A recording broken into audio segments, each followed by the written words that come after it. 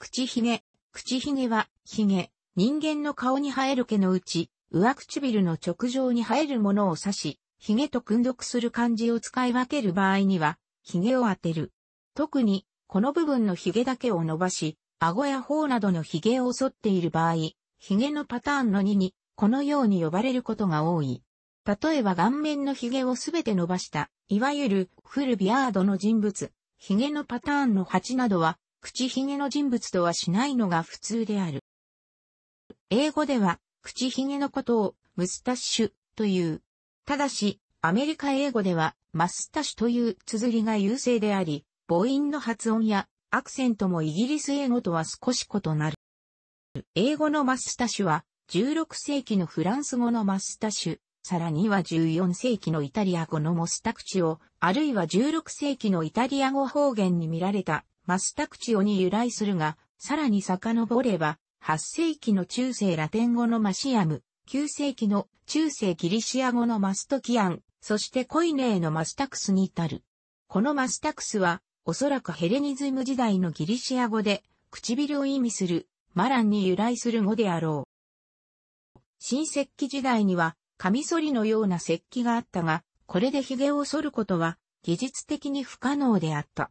髭を含め、体毛を剃ることは、金属器の使用が始まって以降に広まった習慣と考えられているが、それ以前にも貝殻などを使って低毛することは行われており、意図的に一部の髭を残して他の部分の髭を剃ることも行われていた可能性はある。口髭を蓄え、他の髭を剃った人物の姿を捉えた最も古い造形は、ウラル山脈に連なる、ウコク高原のバジリク古墳から出土した紀元前300年頃のスキタイ人の騎馬像である。初期の仏教は釈迦を人の姿で表現するのを避けていたが、一世紀頃から仏像が作られるようになり、現在のパキスタンにあるガンダーラでは、ギリシア彫刻の影響も受けた、いわゆるガンダーラ仏が作られるようになった。ガンダーラ仏では、頭髪を束ね、口髭を立てた姿が表現されているものがよくある。ギメ東洋美術館が所蔵しているガンダーラから出土した1から3世紀頃の釈迦立像にも口ひげが表現されている。仏像ではこのように口ひげだけを表現し、他のひげは表現しない例が多い。近代では口ひげは軍人に好まれた。多くの国々において舞台や階級ごとに様々なスタイルやバリエーションが見られた。一般的に若い下級の兵士は比較的小さな、あまり手の込んでいない口ひげを立てる。やがて昇進していくと、口ひげはより分厚くなり、さらにはすべてのひげを伸ばすことが許されるようになる。一般的に西洋文化においては女性はひげを伸ばさない。伸ばそうと思えば可能な女性は多いが、そうした女性のほとんどは、ひげを取り除くために何らかの処置を行っている。しかし、中には、髭がしばしば薄い口髭のような形で伸びることを肯定的に捉える女性もいる。メキシコの画家フリーダ・カーロが口髭と左右がつながった眉を作品中の彼女自身の肖像に書き込んでいたことはよく知られている。この伝統はその後も一部の女性アーティストたちによって継承されている。思春期の男性に通常は決まった順番で徐々に髭が生えてくるが、その過程において、口ひげは一つの段階となっている。人間の生物学的プロセスの多くがそうであるように、この特定の順序にも遺伝や環境などの要因によって個人差が見られることがある。口ひげを立てている男性は、ほとんどの場合、顔面のすべてのひげを伸ばした、いわゆるフルビアードにならないよう、顎や頬のひげを毎日剃っている。口ひげの手入れのためには、様々な道具が開発されており、髭の形を固める、口髭蜜蝋、口髭用のブラシ、口髭用の櫛、口髭用のハサミなどがある。また電動バリカンに似た髭トリマーと呼ばれる美容家電も各社から販売されている。各年で開催されている世界的な髭のコンテストの近年の大会では、口髭の部門に6種類のサブカテゴリーが設けられている。この他にも特徴的な口ひげとして次のようなものが挙げられる。なお、似た形の口ひげでも、上唇中央の鼻水を剃るか否かで異なる、名称となることも多い。北米やイギリスでは、職場の同僚や友人、学生たちなど、男性のグループが口ひげを伸ばす競争をすることがある。これは、誰が一番早く、あるいは一定の期間内で最も立派な、手入れされた口ひげを伸ばせるかを競うものである。こうした競争は、チャリティ資金集めのために行われることもあり、参加者は、それぞれのスポンサーから提供された募金を寄付する。ルールは様々であるが、競争の決着がつく前に口ひげを剃ってしまうと、供託金が没収されるようになっていることが多い。1970年代初めまで MLB の野球選手は滅多に髭を伸ばすことはなかった。髭を伸ばさない習慣は19世紀から広まったものであったが、20世紀初めには口髭や他の髭を蓄える選手は極め稀になっていた。ロン・バーグマン著、Mustache Gang に詳細が記されているところによると、オークランドアスレチックスのオーナーだったチャーリー・フィンリーは、チーム内で髭伸ばし競争を行った。その結果、1972年のワールドシリーズでアスレチックスが当時髭を禁じていたシンシナチレッズと対戦した時には前代未聞の髭面対堅物の対戦であると報じられた。1970年代前半のアスレチックスの活躍も一助となったのか、世間のファッションが変化したのを受けて、その後は野球選手の間にも髭を伸ばすことが一般的になっていった。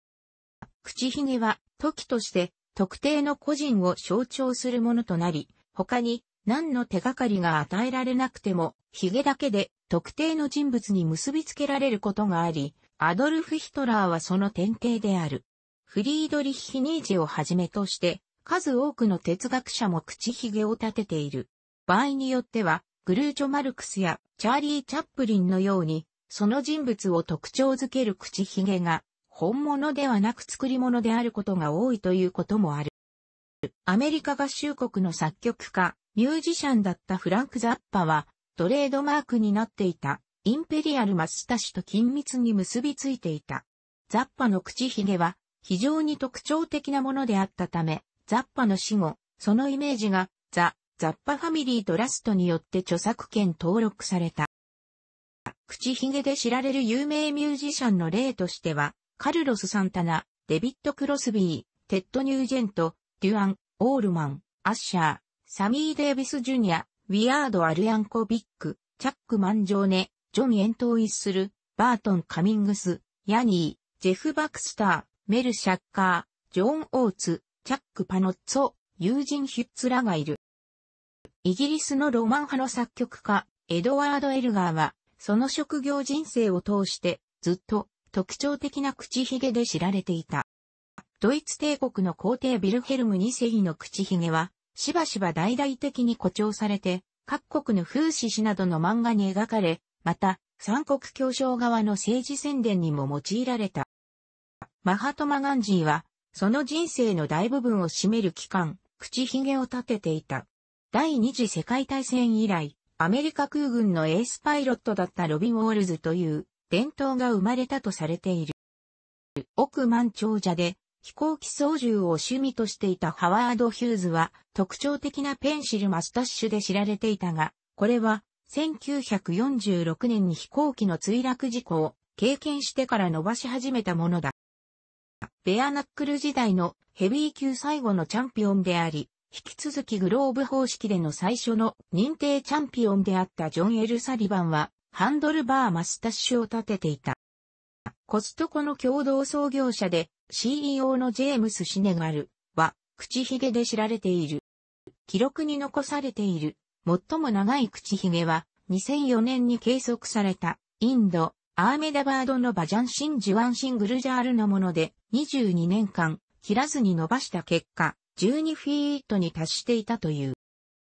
口ひげは架空のキャラクターに個性を与える方法の一つとして使われることがよくある。チャーリーちゃん、テレビアニメ、チキチキマシンモーレースのブラックマオ、アガサ・クリスティが創作した名探偵、エルキュール・ポアロ、ビデオゲームのマリオなどがその例である。とりわけ風、マンチューは、その髭のスタイル全体の名称となるほどの特徴ある髭の持ち主として描かれた。絵画では、モナリザに、ヤギ髭と口髭を描き加えたパロディを制作したマルセル・デュシャンや口髭のある自画像を数多く残した女流画家のフリーダ・ガーロのように口髭が社会的、政治的な意味を生じることがある。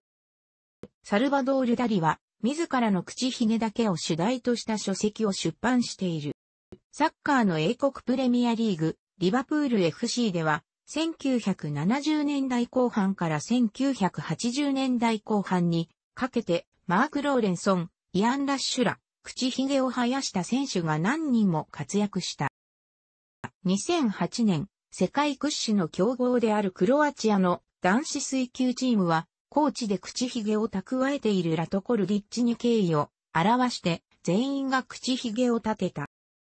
野球の MLB で活躍し、殿堂入りしたリリーフ投手、ローリー・フィンガーズ、リッチ・グース・ゴセージ、キャットフィッシュ・ハンター、デニス・エカーズリーは、いずれも現役時代から口髭を立てていた。他にも特徴ある口髭を蓄えていた。野球選手としては、 AJ・バーネット、クレイ・ザバダ、レジー・ジャクソン、ビリー・マーチン、ランディ・ジョンソン、ルイス・ティアント、レジー・スミス、ドン・マッティングリー、アンドレ・ドーソン、デイビー・ロープス、ウェイド・ボッグス、ジェイソン・ジアンビ、ジャック・モリスらがいる。1972年のミュンヘンオリンピックの競泳で7種目の金メダルを獲得したマーク・スピッツは口ひげを立てていた。競泳の選手は水の抵抗を少しでも減らすために体毛を剃るのが普通だが、他の選手に口ひげが抵抗にならないのかと問われたスピッツは髭があるとそこに空気が取り込まれて、息ができるのだと答えた。ミュンヘンオリンピックの後、ヨーロッパの競泳選手の多くが、口髭を生やすようになった。南アフリカのラグビーユニオンのコーチ、ピーター・デビリアスは口髭を立てており、アフリカンス語で、口髭、ピーターの意である、 Piet Snor とあだ名されている。